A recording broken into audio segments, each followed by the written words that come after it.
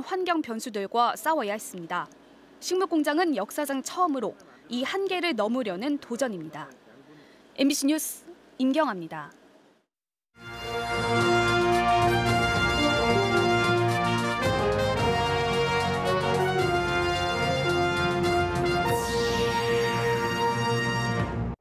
새해를 맞아 MBC 충북은 2022년 한 해를 관통하는 화두로 5대 키워드를 선정해 기획 보도합니다. 첫 번째로 기후위기 시대 대전환의 필요성을 짚어봅니다. 충북의 미래상을 바꿀 현안들이 올해 중대 결정을 앞두고 있습니다. 새해 충북 현안을 점검했습니다. 충북 정가도 분주해졌습니다. 선대위 구성을 마무리하고 본격적인 대선 체제에 돌입했습니다. 청주시가 전국 기초자치단체 가운데 처음으로 기록물을 수집 관리하는 청주 기록원을 개원합니다. 시청자 여러분 안녕하십니까? 계속해서 뉴스데스크 충북입니다. 오늘 충북 코로나19 발생 현황부터 알아보겠습니다. 신규 발생 확진 환자는 47명입니다. 지역별로는 청주 22명, 충주 7명, 제천 5명, 단양 6명, 음성 3명, 진천 1명, 증평 1명, 옥천 1명, 영동 1명이 확진됐습니다. 충북 누적 환자는 11,746명, 누적 사망은 113명입니다.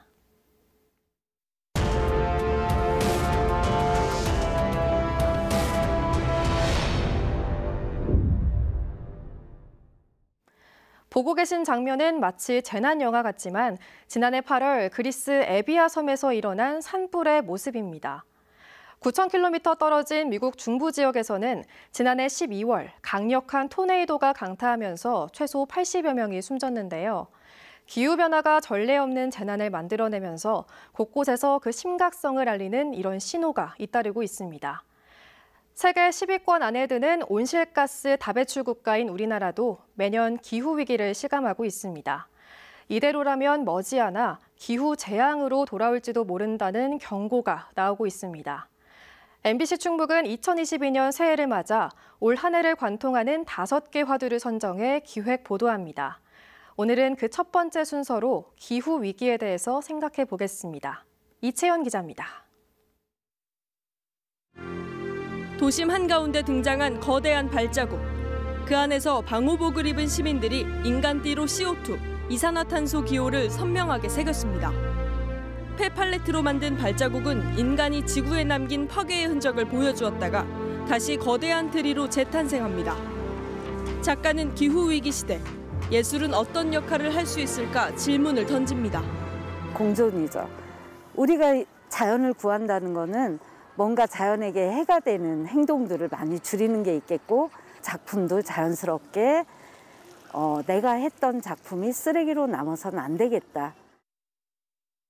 우리가 잘 돌봐주지도 못했는데도 이렇게 많은 수확물들이 청소년들도 같은 질문을 하기 시작했습니다. 충북의 한 시골 학교. 농사 과정에서 발생하는 탄소 배출을 줄이는데 머리를 맞댔습니다. 처음에 밭을 디자인할 때는 별거 아니겠다 싶었는데 직접 밭에 가서 밭을 디자인하려니 어려웠습니다. 화학 비료를 뿌린 뒤 땅을 갈아엎는 기존 관행 농법은 탄소를 많이 내뿜는다는 걸 알고 그 대안으로 탄소를 땅에 가두는 이른바 퍼머컬처를 1년째 교육 현장에서 실천하고 있습니다. 관행농대로 농사를 짓게 되면 경운이라는 걸 자주 해야 돼요. 경운을 하게 될 경우 밭 안에 흙 속에 있는 이산화탄소가 위로 엄청나게 많이 배출이 되거든요. 저희 밭에서는 이산화탄소를 배출하기는커녕 흡수하는 역할을 하는 밭이라고 볼 수 있을 것 같아요. 이런 배움은 실제 행동으로도 이어지고 있습니다. 전 세계 청소년들이 주축이 되는 글로벌 기후 파업에도 3년째 동참하고 있습니다. 사실 3, 40년 뒤에 일어날 더 극심한 변화는 지금 청소년들의 어, 청소년들이 배출한 온실가스의 문제이기도 합니다. 그러면 앞으로 지금과 다른 기후에서 우리는 어떻게 살아가면 좋을까? 일반 시민들도 답을 찾아 나섰습니다. 자투리 땅에서 전기를 생산하는 햇빛 발전소. 대규모 태양광 발전보다 자연 훼손을 덜해 현실적인 탄소 중립 모델로 평가받고 있습니다. 140여 명의 지역 주민들이 1억이 넘는 돈을 모아 만든 태양광 발전소입니다. 안 쓰는 땅을 살려 매일 350kWh가량의 전기를 생산하고 있는데 1년이면 소나무 9천 그루를 심는 것과 같은 효과라고 합니다. 전국적으로 이런 태양광 발전소는 170곳이 넘습니다. 기업들은 탄소를 줄이는 경영이 생존 전략이 됐습니다. 버려진 페트병을 재활용하는 국내 한 의류 제조 업체. 수거한 페트병을 파쇄한 뒤 고열로 녹이면 작은 칩의 형태가 되는데 여기서 실을 뽑아내 옷을 만듭니다. 이 회사는 지난해 하반기부터 수입 폐 페트병으로 만든 원료 사용을 중단했습니다. 대신 국내 지자체와 손잡고 가정에서 배출한 깨끗한 페트병을 수거하는 방식으로 안정적인 자원순환 모델을 구축했습니다.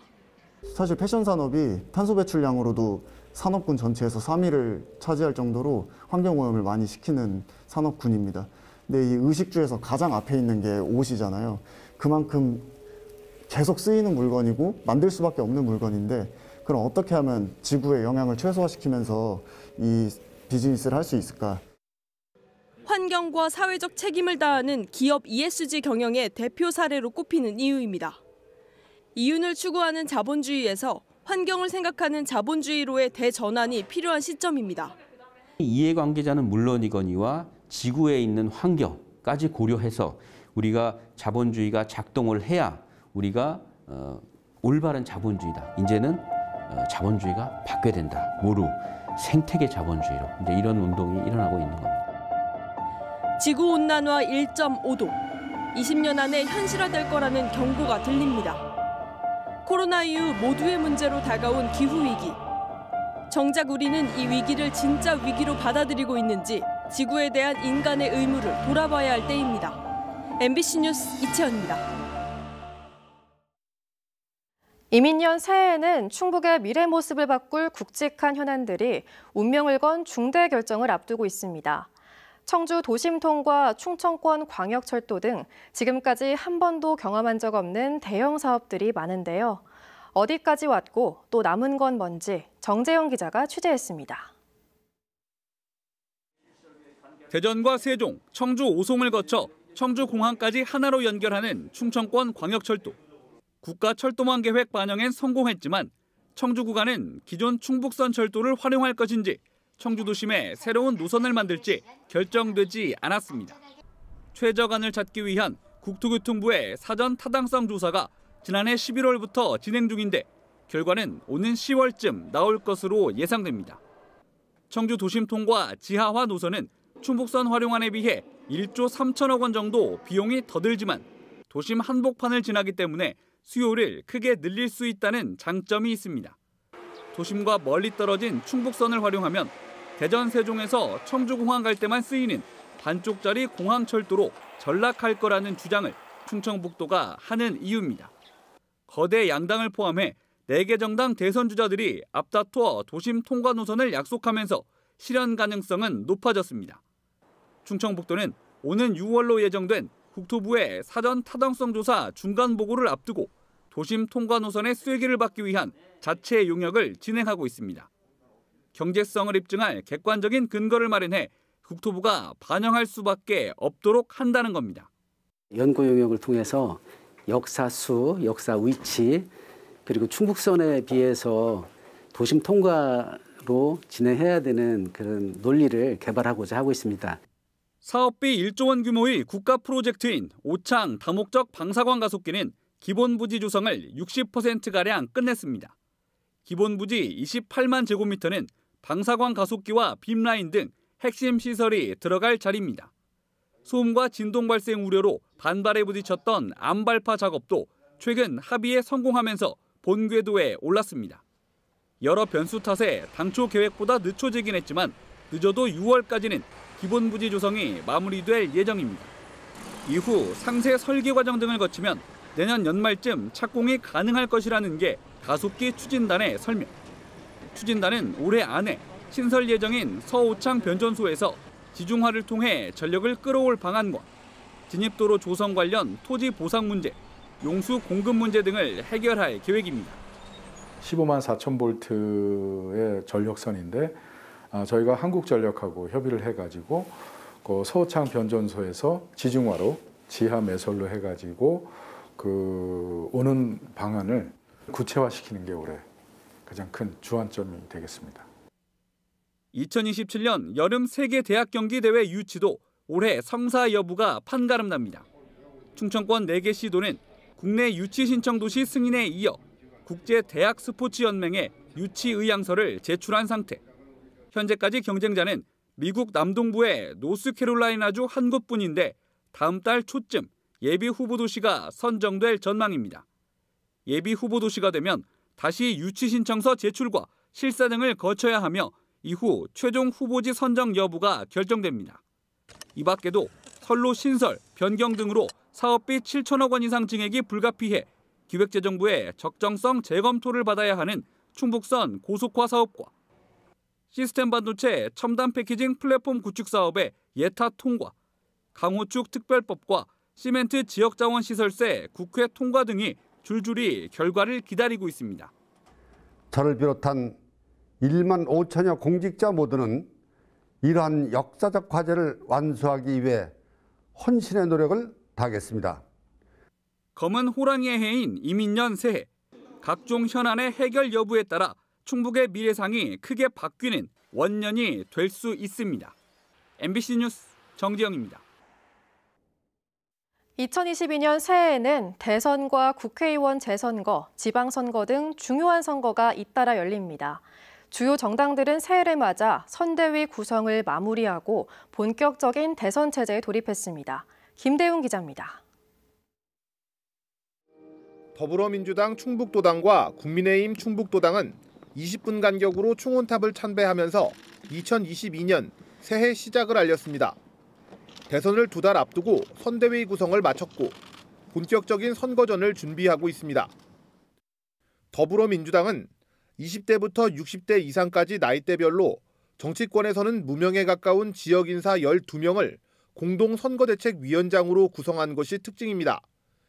이용희 홍재영 전 의원과 노영민 전 대통령 비서실장 등을 상임 고문으로 했고 현역 의원들과 지역 위원장들은 공동 선대 본부장으로 임명했습니다. 261명이나 되는 대규모 선대위를 통해 충북 발전을 키워드로 정책 선거를 이끌어가겠다는 계획입니다. 충북에 여러 가지 현안들이 있고 특히 충청권이 함께 살 수 있는 충청권 메가시티 건설은 우리 충북의 미래를 위해서도 굉장히 중요한 정책이기 때문에 국민의힘 충북도당은 정우택 도당 위원장을 비롯해 이종배 의원과 경대수 전 의원, 민주당에서 건너온 오재세 전 의원까지 다선 의원 출신 4명이 총괄 선대위원장을 맡았습니다. 엄태영 의원과 최연호, 김수민, 오용식 당협위원장, 박경국 전 차관은 공동 선대위원장으로 임명했습니다. 여전히 높은 정권 교체 여론을 발판 삼아 지지층을 결집하겠다는 계획입니다. 문재인 정권에 정말 경험해보지 못한 이러한 고통의 나라가 아니라 경험해보고 싶은 희망의 나라로 이끌기 위해서 더불어민주당은 일요일인 오는 9일 충북 선대위 출범식을 가질 예정이고 국민의힘은 이달 중순 윤석열 후보가 참석하는 충북 선대위 발대식을 열 예정입니다. MBC 뉴스 김대웅입니다. 충북 세계시군 군용 비행장 주변이 소음 대책 지역으로 지정돼 오는 8월부터 보상을 받습니다. 국방부 고시에 따르면 청주에선 17 전투비행단 주변 내수읍 외평동 등 약 56제곱킬로미터와 공군사관학교 훈련장 주변 남일면 등 1.19제곱킬로미터가 지정됐습니다. 충주에선 19 전투비행단 주변인 금가면, 소태면 등 약 102제곱킬로미터가 음성에서는 육군 비행장 주변 금왕읍 등 0.64제곱킬로미터가 포함됐습니다. 보상금은 소음 등급에 따라 주민 1인당 3만 원에서 6만 원까지이며 실 거주 기간 등에 따라 달라질 수 있습니다. 음성 맹동 혁신도시에 들어설 국립소방병원의 법인 설립이 마무리되고 초대 원장도 선임됐습니다. 소방청은 초대 원장에 곽영호 서울대 응급의학과 교수를 임명했으며 곧 의료 관련 법인 위수탁자 모집 공고에 나설 예정입니다. 또 오는 3월부터 의료 장비를 도입할 개원 준비단을 운영하고 9월쯤 착공할 계획입니다. 국립소방병원은 소방공무원 진료와 특수 검진을 하고 지역 주민도 이용하는 종합병원으로 19개 진료 과목, 302개 병상 규모로 건립됩니다. 한 지역, 같은 시대를 살아온 사람들에게는 누구나 공유할 수 있는 같은 기억들이 있죠. 옛 거리의 모습과 그 거리를 도배했던 각종 벽보 등이 대표적일 텐데요. 머릿속에만 남아있을 법한 청주 지역의 기억을 유형의 자산으로 남기는 기록 사업이 첫 선을 보입니다. 심충만 기자입니다. 시민 모두가 쥐 그리고 간첩을 잡자. 1980년대까지 청주 거리를 도배했던 낡은 벽보들이 실물 그대로 보관돼 있습니다. 라면값에 34원을 썼다는 여느 가정집의 가계부며 국민학교 시절 전교생 대부분이 받았다는 개근상까지 지금껏 왜 안 버렸나 싶은 옛 평범한 일상이 문화재처럼 남아 있습니다. 무심코 지나던 옛 거리와 이웃들 평범한 일상은 흑백 사진이며 동영상에 담겼습니다. 받는 걸? 네. 아, 전화하는 거 많이 언니가. 청주시와 옛 청원군의 행정 자료를 포함해 이렇게 모인 자료는 모두 42만 점. 법률에 따라 행정 자료만 보관하던 청주시가 지난 3년여 동안 민간의 일상 기록을 수집한 결과입니다. 생각보다 호응이 좋아서요. 여기 전시된 거 외에도 레코드판도 있고요. 뭐 행정 만들 때 뭐 타작 타자기도 있고 등사기도 있고 한 시대 한 공간을 산 시민들의 공통 기억을 유형의 기록으로 남겨두자는 취지입니다. 이를 위해 국가기록원처럼 청주시가 지역의 기록을 직접 모아 보존하는 청주 기록원을 신설했습니다. 30년 이상 연구 보존 기록물도 직접 관리할 수 있는 법률적 지위가 인정되는 것으로 국가기록원을 제외하고 전국의 이론 기록원은 서울과 경남 등 광역시도에 두 곳, 기초 지자체 중에는 처음입니다. 기록이라는 것이 역사로 연결되거든요. 또 사람과 사람, 그리고 사람과 마을을 형성하는 것에 대해서 누군가는 수집하고 남겨야 그 지역의 역사가 만들어지기 때문입니다. 청주기록원은 오는 7일 정식 개원할 예정입니다. MBC 뉴스 심충만입니다. 청주의 한 모텔에서 50대 여성이 숨진 채 발견됐습니다. 오늘 오후 2시 반쯤 모텔 직원의 신고를 받고 출동한 경찰은 이 여성이 목 부위가 부은 채 숨진 것을 확인하고 동행했던 60대 남성을 용의자로 특정해 추적에 나섰습니다. 하지만 이 남성도 오후 4시 50분쯤 강내면의 한 가게 안에서 숨진 채 발견됐습니다. 경찰은 남성이 범행을 저지른 뒤 극단적인 선택을 했을 가능성에 무게를 두고 부검을 통해 정확한 사망 경위를 조사할 방침입니다. 함께 술을 마시던 지인에게 흉기를 휘둘러 숨지게 한 혐의로 20대 러시아인이 구속됐습니다. 괴산 경찰서는 지난 1일 새벽 3시쯤 증평의 한 빌라에서 평소 알고 지내던 같은 국적의 30대와 술을 마시다 말다툼 끝에 흉기를 휘둘러 숨지게 한 혐의로 20대 러시아인을 구속했습니다. 피의자는 만취 상태에서 다투다 자신을 해하려고 해 우발적으로 범행을 저질렀다고 진술했지만 경찰은 정당방위 근거가 부족한 것으로 보고 범행 동기를 조사하고 있습니다. 충청북도가 올해 4천억 원 규모 중소기업 육성자금 지원 계획을 확정하고 오는 10일부터 신청을 받습니다.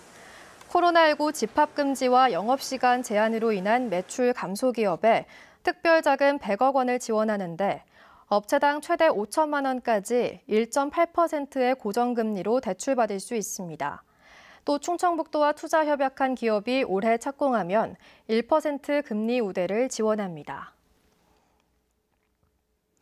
올해 제천 지역에 2,900여 세대의 민간 아파트가 신규 공급될 전망입니다. 제천시에 따르면 이달 중 주택건설 사업계획 승인 고시가 예상되는 단지는 장락동 장락초등학교 인근 부지와 옛 장락동 시오터미널 부지, 신월동 미니 복합타운 내 주거복합 용지 등 3개 단지 1,907가구 규모로 올 상반기 분양이, 분양이 이뤄질 전망입니다. 이 외에도 신월 미니 복합타운과 천남동에서 천세대 남짓 제천시 승인을 기다리고 있습니다. 충북 소식 마칩니다. 시청해주신 여러분 고맙습니다.